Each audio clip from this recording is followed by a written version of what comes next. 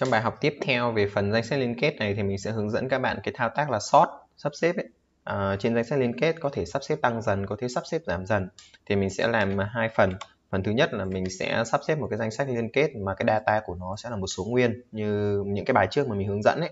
Cái phần thứ hai đấy chính là mình sẽ uh, xây dựng một cái danh sách liên kết mà cái nốt của nó sẽ chứa thông tin phức tạp hơn, ví dụ như một sinh viên hoặc một giáo viên để mà mình có thể sắp xếp theo nhiều cái tiêu chí khác nhau bởi vì khi mà học cái phần danh sách liên kết này thì mình thấy là à, thường thì nó sẽ là những cái bài hướng dẫn về sắp xếp một cái số nguyên ở trong danh sách liên kết đấy. Nhưng mà khi mà cái bài toán nó đổ đi một chút đấy là cái danh sách liên kết của mình ấy nó lại chứa một sinh viên. Thì à, các bạn gặp khó khăn trong cái việc mà cài đặt. Thực ra thì cái thuật toán nó không có cái gì khác mà mình chỉ cần thay đổi cái tiêu chí sắp xếp là được. Nhưng vẫn có một số bạn à, cảm thấy là khó khăn khi mà cài đặt thế thì cái phần danh sách liên kết này đầu tiên này, mình sẽ có những cái ờ, hàm như là những cái bài học trước, đấy là struct node này, là hàm make node này, rồi là hàm pushback ở đây thì mình chỉ ờ, đơn thuần mình chỉ xây dựng một cái hàm để thêm nốt vào cuối danh sách liên kết thôi, và một cái hàm duyệt. À, ok, còn những cái thao tác chèn sửa xóa ở trong cái bài, những cái bài trước thì mình không cho vào bởi vì nó hơi dài. Ở đây mình sẽ viết một cái hàm sắp xếp thế thì khi mà các bạn viết sắp xếp thì các bạn có thể lựa chọn các cái thuật toán như là sắp xếp chèn này sắp xếp chọn này sắp xếp nổi bọt này hoặc là sắp xếp ờ, trộn mở sọc để mình có thể sắp xếp danh sách liên kết. Nhưng mà khi mà các bạn sắp xếp danh sách liên kết ấy, thì các bạn có một cái lưu ý như thế này. Đấy là mình chỉ có sắp xếp uh, cái phần data của nó thôi đúng không? Thế còn những cái kết nối của danh sách liên kết ban đầu mình không cần phải thay đổi. Tức là những cái kết nối từ nốt đầu tiên cho tới nốt cuối cùng ở trong danh sách liên kết của mình nó không hề thay đổi cái mà mình thay đổi ở đây nó chính là mình đem cái ờ, data của cái nốt này mình đưa nó về làm sao cho đúng cái thứ tự là tăng dần hoặc giảm dần. Đó. Thế ở đây mình sẽ viết một cái hàm là hàm sắp xếp mình sẽ sử dụng thuật toán là selection sort. Sắp xếp chọn đó nốt sao hết. rồi, ok. Bây giờ thì mình sẽ tiến hành duyệt từ cái nốt đầu tiên cho tới nốt cuối cùng. Thì mình sẽ dùng là nốt y nhé bằng ờ, sao hết. sau đó các bạn để cái điều kiện lặp là y khác null thì ở đây để từ nốt hiện tại nhảy sang nốt tiếp theo thì các bạn cho y bằng y mũi tên next. Rồi, thì ở đây mình sẽ phải làm gì? Mình sẽ khai báo một cái nốt, y mình đặt là min nốt ra đây, nó sẽ bằng y. Sau đó mình sẽ tìm xem là đằng sau y này có cái nốt nào mà nó nhỏ hơn cái min nốt này không thì cập nhật, đúng không? Thì các bạn duyệt từ cái nốt là sao g bằng y mũi tên next. Sau đó các bạn cho g khác null. Các bạn cho g bằng g mũi tên next. Đó thế đến ở chỗ này mình sẽ kiểm tra. Nếu mà min node uh, mũi tên data ok mà nó lại lớn hơn z mũi tên data tức là cái nốt z này nó chứa một cái uh, giá trị còn nhỏ hơn cái thằng min node thì mình sẽ cập nhật min node bằng z đó. Thế thì sau vòng for này mình đã tìm ra được cái nốt nhỏ nhất và mình đưa về cái vị trí của thằng y rồi đúng không? Nhưng ở đây mình không cần phải hoán vị cái cái cái cái link cái phần liên kết của hai cái nốt này mà mình chỉ cần hoán vị cái phần data của nó thôi. Ở đây các bạn có thể swap hoặc là dùng một cái biến tạm bằng uh, min node mũi tên data. Sau đó mình sẽ cho là min node mũi tên data. Thì bằng y mũi tên data. Và cuối cùng mình cho à, uh, y mũi tên data thì bằng tem. Đó thế là được. Ở đây thì uh, đơn giản thì mình sẽ tạo một cái nốt uh, sao head bằng null. Sau đó mình làm một cái mảng à, từ 1 đến 10 đi. 10 9 1 2 4 5 3 7 6 8 Ok sau đó mình sẽ tiến hành à, for inti bằng 0 y nhỏ hơn n y cộng cộng nhỏ hơn 10 sau đó mình sẽ đưa hết các cái phần tử ở trong cái mảng này vào trong vào cuối uh, danh sách liên kết. Mình sẽ gọi hàm pushback mình truyền và head và ai vào. Sau đó mình sẽ sort. Ok mình sẽ sắp xếp mình truyền à, sao hết à, và hết vào. Sau đó thì sắp xếp xong mình sẽ gọi cái hàm là hàm duyệt. Mình truyền hết vào. Đó để nó sắp xếp theo mình theo thứ tự tăng dần. Ở đây mình à, đưa các cái nốt vào cuối danh sách liên kết nên mình chỉ dùng mỗi cái hàm pushback này thôi nhá. Ok.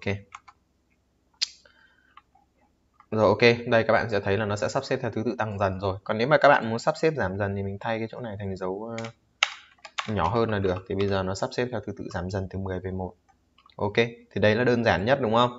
Là các bạn có thể sắp xếp được cái uh, danh sách liên kết của mình. Sắp xếp danh sách liên kết của mình theo uh, thứ tự tăng dần hoặc giảm dần với data là một số nguyên. Thế bây giờ nó gặp một cái bài toán như thế này đấy là cái phần danh sách liên kết của mình nó không phải lưu số nguyên nữa mà nó lưu một cái sinh viên hoặc giáo viên hoặc một cái cấu trúc gì đó nó phức tạp hơn. Thì cái nốt của mình ở đây ví dụ như mình sẽ xây dựng một cái struct là sinh viên. Ở trong này thì đơn giản thì có name có tên và double gpe đó à, mình tạo hai cái constructor ở đây cho nó dễ nhé mình tạo constructor là sinh viên này không có tham số và thứ hai là sinh viên đầy đủ tham số string tên và thứ hai là double điểm. Bạn nào mà cái phần này cái phần struct này mà còn chưa hiểu phần constructor này các bạn có thể xem cái video về struct của mình ở trong uh, playlist về C cộng cộng để hiểu rõ hơn nhé ở đây thì mình sẽ gán là name thì bằng tên và thứ hai là gpe thì bằng điểm. Thế thôi. Xong thì bây giờ cái struct node của mình danh sách liên kết của mình, cái data này nó không phải là một số nguyên nữa, nó sẽ là một cái sinh viên data, được chưa? Đó. Thế thì cái phần make node của mình ở chỗ này mình cũng khởi tạo từ một cái sinh viên chứ không còn là một số nguyên nữa. Mình đặt là sinh viên s. Thì ở chỗ này các bạn sẽ cho new node này. Đó.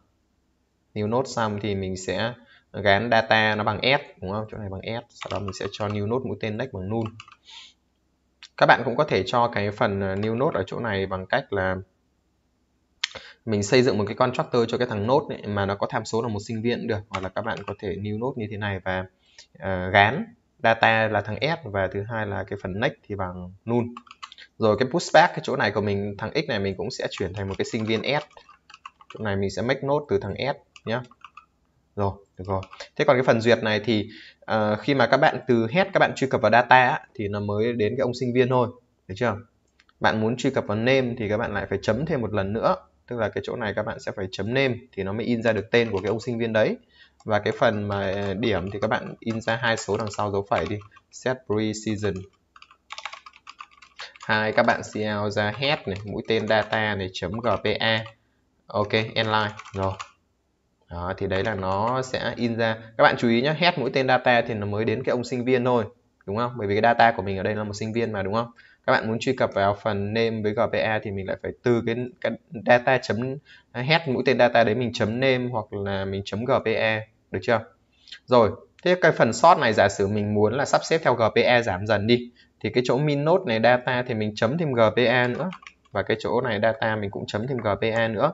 Để nó đem GPA ra nó đem so sánh. Chỗ này các bạn dùng sinh viên nhé chứ nó không phải là à, uh, INT nữa. Thế thôi. Thì bây giờ mình có ngay một cái hàm sắp xếp mà sắp xếp danh sách sinh viên của mình theo thứ tự là GPA giảm dần hoặc tăng dần hoặc nó có nhiều cái tiêu chí gì đấy như là tổng điểm 3 môn hay cái gì điểm trung bình gì đấy. Thì thực chất là các bạn chỉ cần xử lý cái chỗ if này này. À, nhưng mà mình thấy là nhiều bạn gặp rất là nhiều khó khăn khi mà các bạn sắp xếp một cái danh sách liên kết mà nó là một cái nốt phức tạp. Thực ra nó không có gì khó các bạn được chưa nhỉ? Nếu mà mình không cài đặt được thì là mình phải xem xét lại cái kỹ năng lập trình của mình xem nó tốt chưa? Bởi vì thuật toán mình biết đúng không? Mình có thể sắp xếp được uh, danh sách uh, các số nguyên nhưng mà khi người ta yêu cầu sắp xếp uh, sinh viên theo điểm GPA hay cái gì đó hay nhiều tiêu chí khác nhau mình không làm được thì lúc đấy là mình cần phải xem xét lại đúng không? Rồi ok dưới này thì mình ở đây thì mình sẽ tạo ra một vài cái sinh viên đi ví dụ như một cái ông sinh viên S có tên là Tèo đi.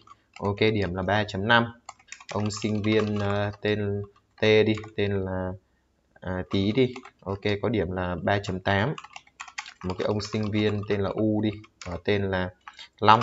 2.5 được chưa nhỉ? Một cái ông sinh viên uh, V đi tên là Hải.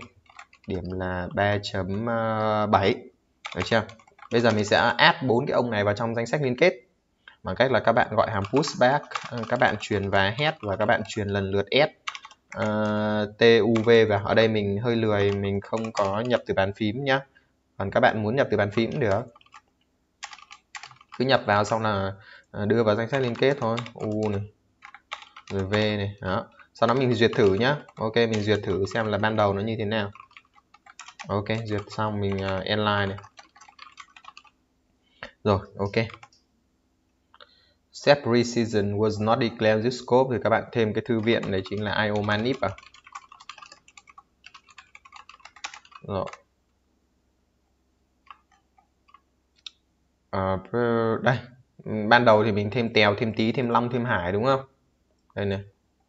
Mình thêm là à, tèo, tí, long, hải thì danh sách của mình nó như thế này. Thế khi mà mình sort xong ấy sau khi mà mình sắp xếp mình chuyển từ head vào thì nó sắp xếp theo GPE giảm dần này các bạn thấy là tí này Hải này Tèo này và Long này. Đó ok.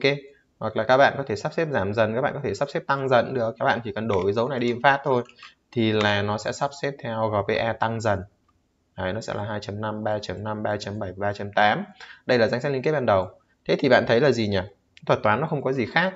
Còn cái chỗ này nó phức tạp hơn một chút thì nó có thể yêu cầu các bạn là nếu mà uh, hai sinh viên mà có điểm GPA giống nhau thì bạn nào có tên uh, có thứ tự từ điển nhỏ hơn xếp trước chẳng hạn thì mình cũng làm được nhá.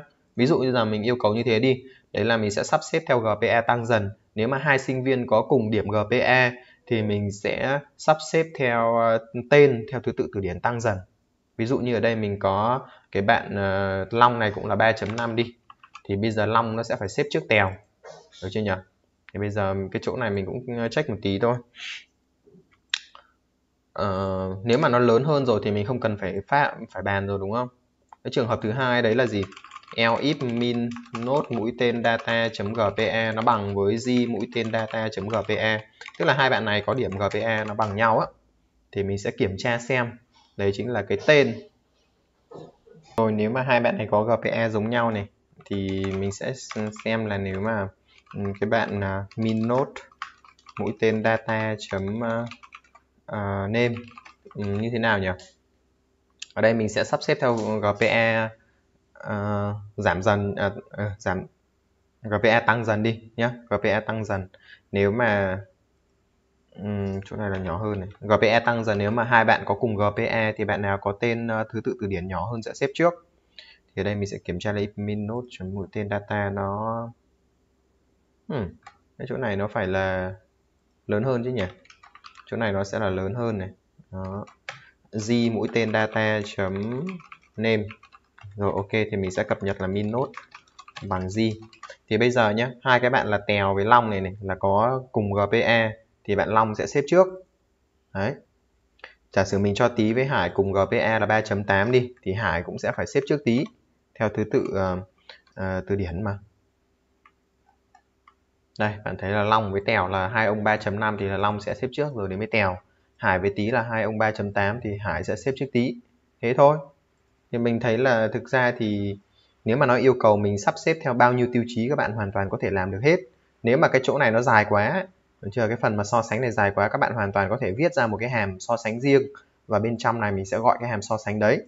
Thấy nhỉ? Ok hy vọng trong video này thì các bạn có thể uh, biết cái cách sắp xếp danh sách liên kết của mình theo bất cứ một cái tiêu chí nào, hoặc là cái danh sách liên kết của mình nó có phức tạp đi chăng nữa thì các bạn cũng có thể hoàn toàn sắp xếp được nhé ok, video hết của mình thì ờ, dừng ở đây nhé